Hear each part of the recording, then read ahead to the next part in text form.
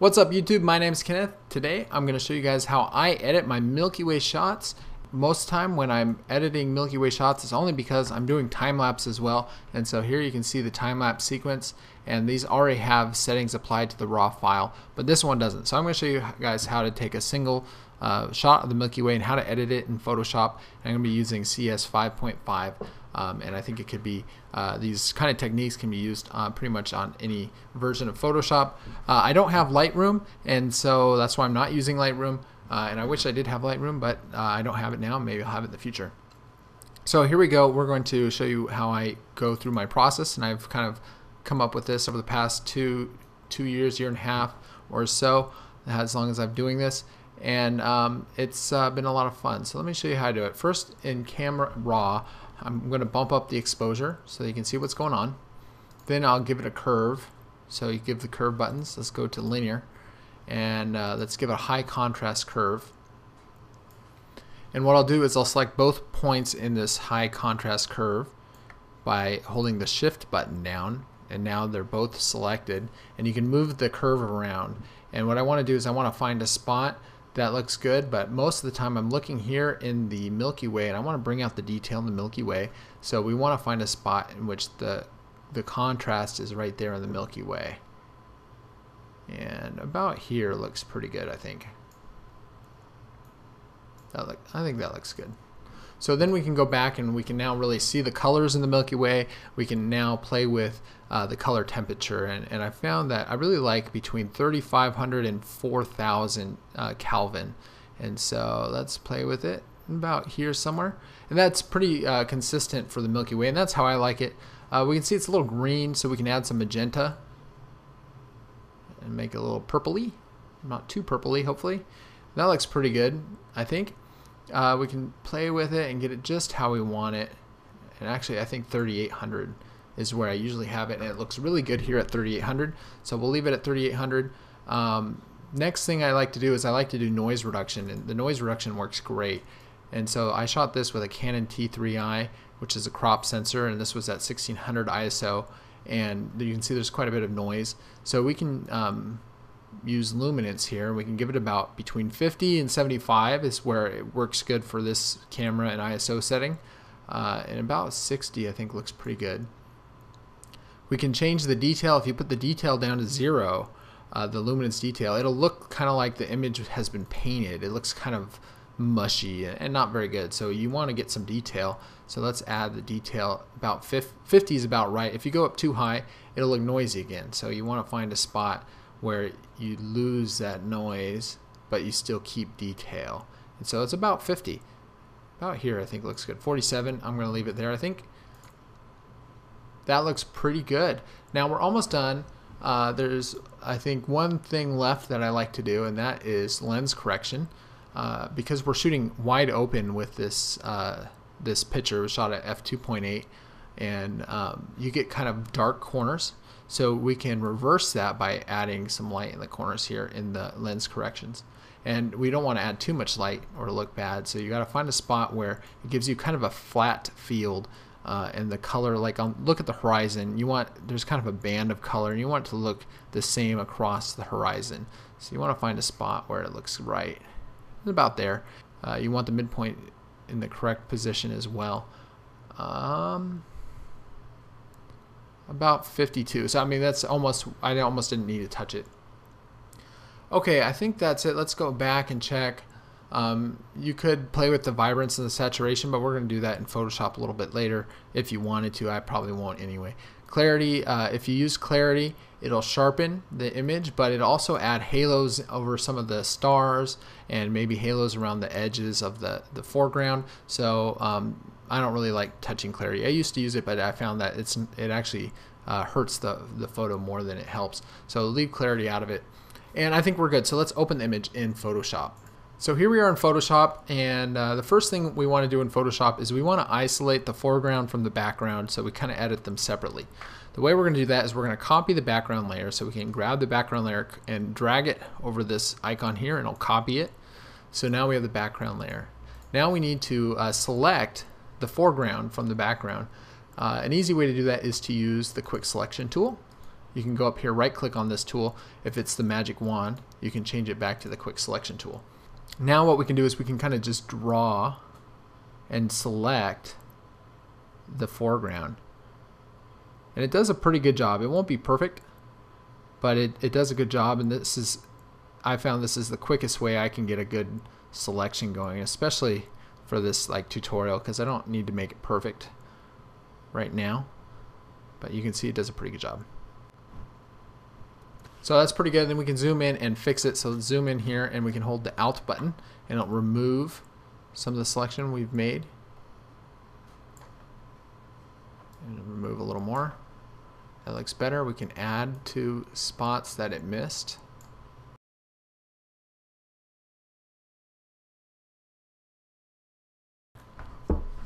So once you're happy with your selection, you can now make sure the background copy is selected. You can then click uh, this button here and it'll create a mask. Now what we're going to want to do is we can add like a curve or maybe color correction to this background copy. Let's add a curve now. And what you want to do is you want to make this curve only apply to this layer. So you can select the curve, then holding the Alt button, you can click right between the two layers. You see this, there's a, uh, an icon that pops up. And now this curve only applies to this layer. So we can change the curve. You can see it's only only um, adding to our foreground. So we can actually like make it a silhouette if we wanted to, or we could make it super bright and you know show off some of the details in there. Um, but I think for us for now, I think we'll just darken it just a hair. You can also do uh, color correction, color balance. Um, a lot of times the the foreground will have a different uh, white balance setting than the, the background, the Milky Way. Um, but in this case, it actually looks pretty good, so I'm not going to touch it. So now what we can do is select the background, we can add a curve, and now this curve will only do the, uh, the sky. So that's, that's why we wanted to isolate the foreground from the background. So um, I'm going to remove that point, and before we uh, add anything here, I want to bring out the detail and stuff in the Milky Way. So let's um, add to this mask. Let's first paint the mask completely black. So I'll hit the G button and that will select our uh, paint bucket and we can paint black. We can drop black on the background and now we're not going to affect anything because uh, the, the mask is completely covered. So what we can do now is we hit the B button uh, for brush and we can paint back white and you can see I have a curve here that's really bright and it's only affecting the portion of the mask that we're painting. So I'll leave it bright now just so that we can see what we're going to brush. As you can see, as we go over our foreground, our foreground isn't affected because we've already masked it out. So that's why we did that. And right now we're just going to paint over the Milky Way uh, the parts that we really want to bring out the detail of and we want to brighten and we want to uh, make look good. So right now all we're doing is we're painting over the Milky Way and that's I think pretty good like that. So then what you can do is you can see as this curve it uh, affects only this section here but it looks really bad because our mask has such a sharp line. And so what we're going to do now is we're going to soften this line we're going to select the mask and we're going to go to filter we're going to go to blur and then Gaussian blur and we're going to give it a huge radius of this blur, something huge. So I'm just going to leave it at the highest point, 250.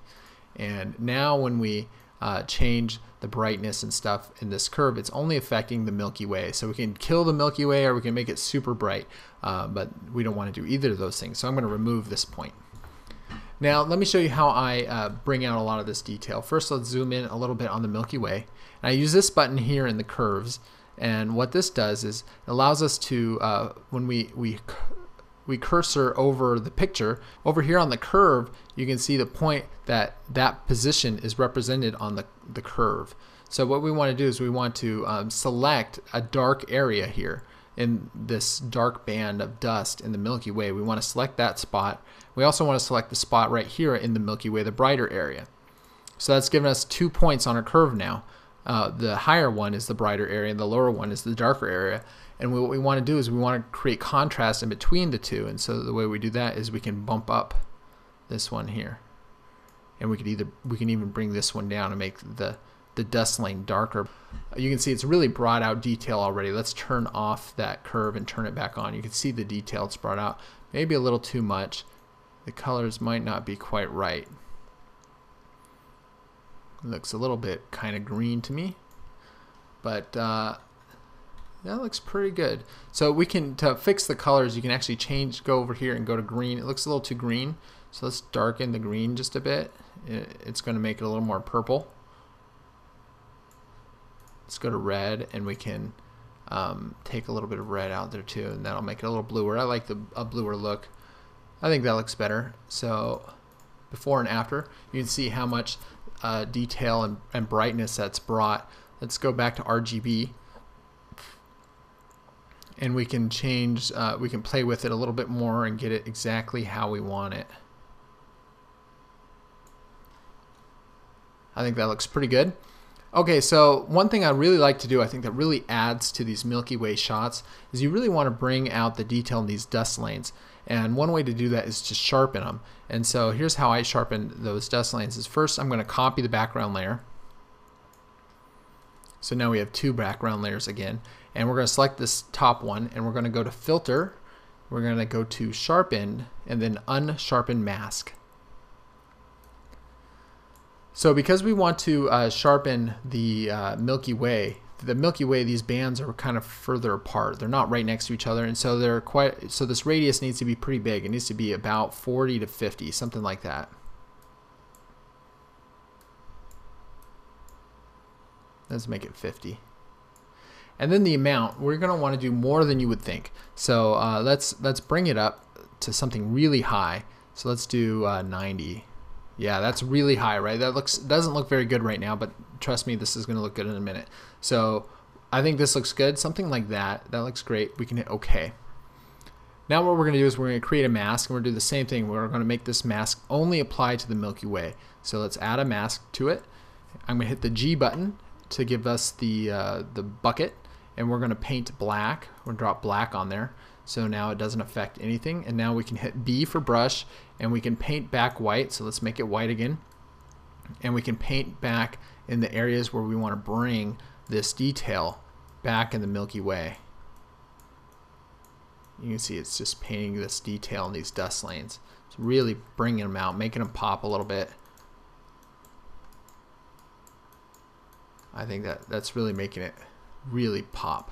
And so uh, once you get it like this, you're going to want to do the same thing. This mask is, is harsh. So we want to soften the mask again. So select the mask, go back to filter.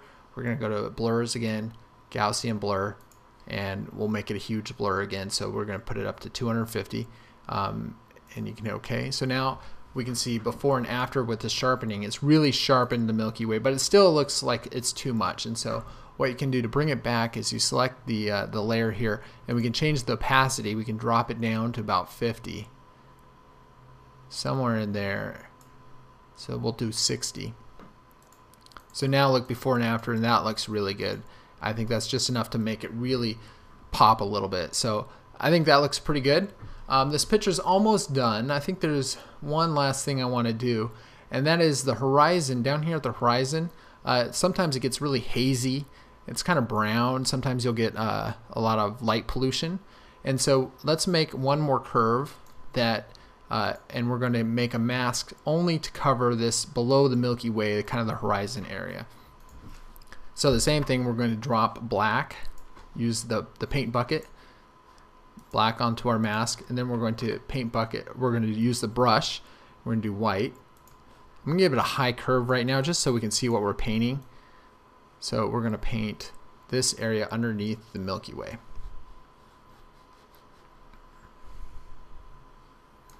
Okay, that's good enough. And then we're going to want to um, soften the mask again. So we can go to uh, Filter, and Gaussian blur is already up here, so we can just redo the Gaussian blur, and it's softened that up. So now when we move this curve, you can see it's only affecting the portion under the Milky Way, and we can get it just right. And I think it's too bright actually. We want to bring out the Milky Way and this is kind of brought out too much. So we can pull that back just a little bit. Not too much. We can also color correct. Um, a lot of times uh, the like um, light pollution will be kind of brown or orange or something like that. And you might want to get rid of that. And so then you can you can come in here and right now it's kind of looking greenish to me. So let's let's pull back on the green just a bit and red now it's a little bit red we want I like to go for a little bit bluer and so by pulling back on the green and the red it's going to bring out the blue a little bit I think that looks good so let's go back to RGB and um, play with that a little bit that's helped the color correcting color corrected a little bit and about there I think looks good let's zoom out so here it is um, before we've fixed the, the horizon and that's after. And I think it, it also helps blend this really dark silhouetted foreground with the background. I think that helps blend it a bit. Anyway, uh, I think we've got a really great image here. The last thing I might do before we call it done is I'd, I'd check the foreground, make sure we get the foreground curve just how we want it. And I don't want it too bright. I think it looks funny when it's too bright like that.